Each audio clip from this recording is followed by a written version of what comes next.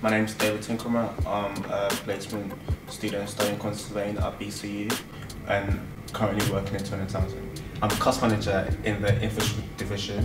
I'm currently I'm working with the environmental agency and Birmingham City Council, um, delivering services for them. I'm hoping to gain a lot of communication skills, um, improve core competencies that RICS requires for quantity surveyors to achieve.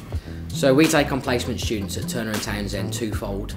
We want people to experience life at Turner and Townsend, show what a great company it is to work for, uh, and within that, give the next generation an opportunity to learn and develop. I went through um, the careers team at BCU. Um, they had a look at my CV, gave me advice. I made some amendments to my CV, and then I, I applied through GradCracker for the role. And through that, I was directly um, applying through Turner Townsend for the job, where I answered a few questions.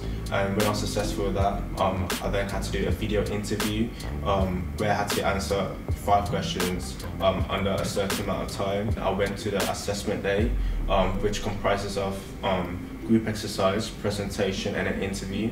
I got a call saying that I've been successful um, with the with the job and I was given the role. Since David joined Turner and Townsend, he's gained multiple skills. Um, something I've noticed is his confidence. Um, he was quite quiet when he joined the business. Um, he's much more outgoing now.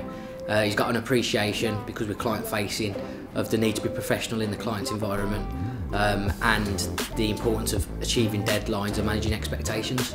In my first year of um, uni, um, I applied for summer placement jobs, but I wasn't successful, um, mainly down to my CV not being up to scratch.